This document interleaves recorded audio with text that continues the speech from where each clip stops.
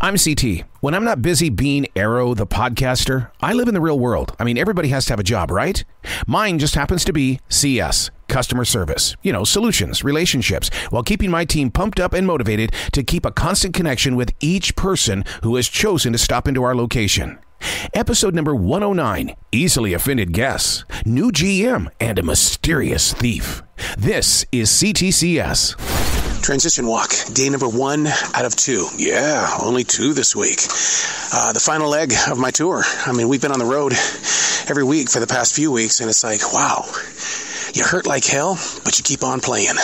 Isn't that what life is all about? Isn't that what going to CS is all about? It hurts like hell, but you keep on playing.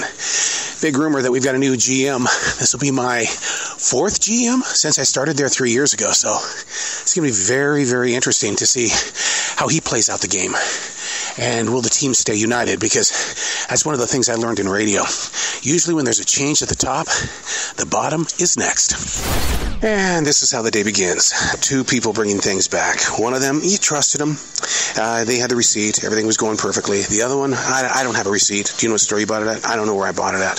And I said, okay, we have to at least look for it because I, I, can't give you back your money uh, unless I have a receipt. So about 20 minutes goes by. Every store that he says that he got it from, uh, you know, doesn't show anything. So it's one of those things where you sit there and you go, did you steal it? Just tell me you stole it or something. Because, I mean, I'm not finding it in anywhere. And, you know, I'm not going to give you back your money. You don't have a receipt pretty much every Thursday, it always happens. Somebody comes up to customer service and says, You know, you just offended me. You offended me so badly inside this store. And it's like, Oh God, what did we do? And they go, I'm not 60 years old. Do not ever just give me a senior discount. Ask me if I'm that. And, uh, you know, you just made me feel just amazingly old today. You just want to say one thing. You got 5% off. Be happy with that just met the new GM. He comes up, introduces himself, and he says, Yeah, I just took over this position. I said, Wow, you admit that? You know what that means, don't you? And he looks at me and he goes, Who's this guy? This guy's weird. He goes, No, what does it mean? More responsibility, dude. Welcome to the circus. This is pretty original. Somebody goes up to our self checkout clerk and says, uh, Hey, man, I just got to go out to my car. I'll come in here and pay for this chicken. They've been eating the chicken for the past 30 minutes. They didn't come back. They had a free meal on us. But I mean, what what a, what a smooth move. Who thinks of that kind of stuff anyway? When it comes to, hey man, I'm just gonna go out to my car and get my credit card. I'll, I'll be right back. And then we trust you. Every week on senior day, there's a woman that comes in a little bit beyond middle aged, and uh, she likes to steal the deal. In other words, she will sit there, she'll scrape her finger on the label to get it to the point where it says that, hey, look, uh, uh it, this this should have been sold two days ago. Uh, I want 35, 40% off. And then when you look at it, you're going, first of all, you scrape the, the label off. Second of all, it says the 30th. Today is really only the 26th. So, uh, no. Okay, ten minutes have gone by since uh, the last little episode with uh, with the uh, the guest with with the hamburger, scraping the labels. Um, now she wants to get her uh, her milk. Uh, she wants to get it for half off. It's whole milk. And the reason why she says because it's outdated. She says, You're right, today is the 26th. Today is the 26th. And she says, But look at this milk. And I said, Hey, um, it's not November. This says it's good until November 25th, 2023. You, so I can't have any money off? No, no, you cannot. We've got a very suspicious man in the building right now. Very long hair, beard. Not to typecast anybody or to stereotype anybody, but uh, uh, he's wearing his backpack on the front side and he's not looking at anybody as he was going through the store. And, you know, I mean, we're, we're just a couple of days off from what happened in Maine where 18 people were killed. So our security is definitely on this right now. Uh, we're waiting for him to patiently come out of the bathroom. He's now been in there for about 22 minutes. He's now walked out of the bathroom. The backpack is on his back, uh, like it should be worn, and now security is on high alert to find out uh, what is happening with this gentleman. What we have now is a game of cat and mouse where security is trying to, you know, do the circle just to kind of make some sort of contact with the gentleman. But uh, once he sees that that we're looking at him, then he turns and walks a completely different way. And so we're headed toward the back of the store to find out, especially back here by the meat, so that he doesn't grab anything.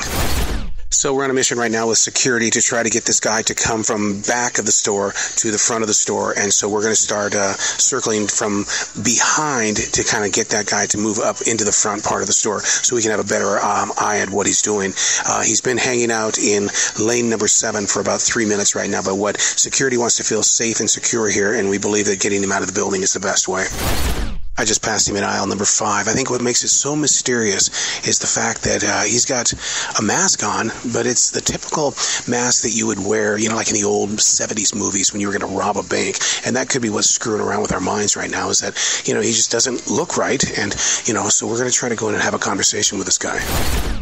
Honestly, there should be a mandatory rule. You cannot bring a large backpack or bookcase into a grocery store, especially in this day and age where we actually have to watch all of these active shooter videos. And so, and that's what I think has us on the edge here is that that active shooter inside that last video we saw kind of looks like this guy.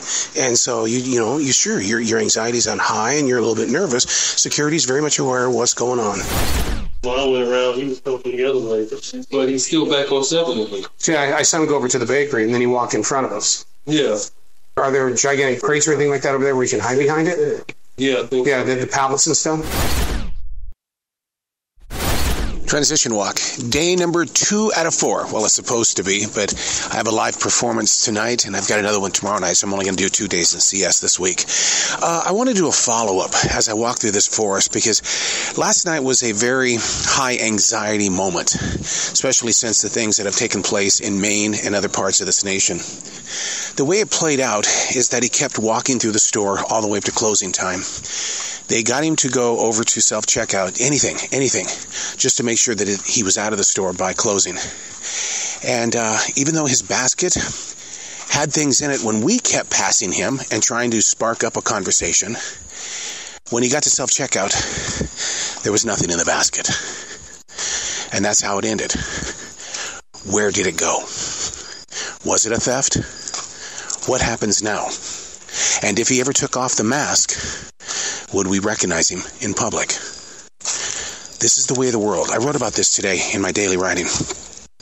That it's very difficult to look at the chaos and the recklessness and the uneasiness of this modern world. Do we choose to hide behind our writing windows?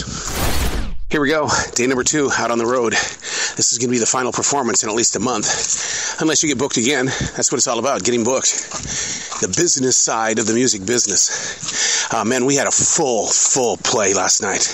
I love it when people let themselves go enough to where they don't mind singing their favorite songs out loud and so proud. I was just so, so amazed by their, their journey with us last night. Transition walk, day number four out of four. Going back into CS today after being on that live stage two nights in a row, back to back. Yeah, it's a different kind of pain, is what it is when you do a live show because you're consistently building your stage and taking down your stage. And when you do that two nights in a row with all that heavy music equipment, man, it, it plays hell on the mind, body, and soul in the way that, oh, well, now I've got to go dedicate eight or nine hours in customer service. Uh, my thing to my wife was, look, I'm going to move at a slower pace today because I ain't going to race through this day and face injury.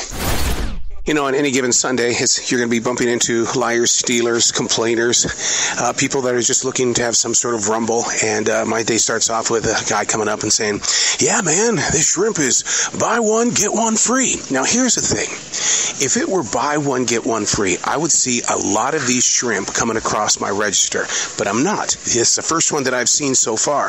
And so I go, I'll tell you what, it's taking $2 off, but it's not going to be buy one, get one free. Yes, it is. Okay, hold on. I'm going to do what I'm supposed to do. Let me go back and take a look. And if I'm wrong, then I, then I apologize. And no, I was not wrong. It was $2 off. And now the pet peeve of the day. Okay, you've got six registers that are full. Two of the six have decided to get engaged in a conversation, and you've got four and five people in line to check out. You ask them, hey, you got to break it up. Somebody get back on that register, and let's get this line moving. They don't move. You mention to it again. They don't move. You walk up to them, and you very calmly say, with kind of a stern voice, and they don't move. And what happens is, is that then a department head comes over to you and says, they don't have to listen to you. Oh, pet peeve of the day. Halloween is this coming Tuesday, and we are selling pumpkins like you would not believe, and candy. Oh my God! What we do is we go and we work with our other stores in the chain to see if they can bring over some of their candy and pumpkins. We had eight gigantic crates of pumpkins at 11 o'clock this morning.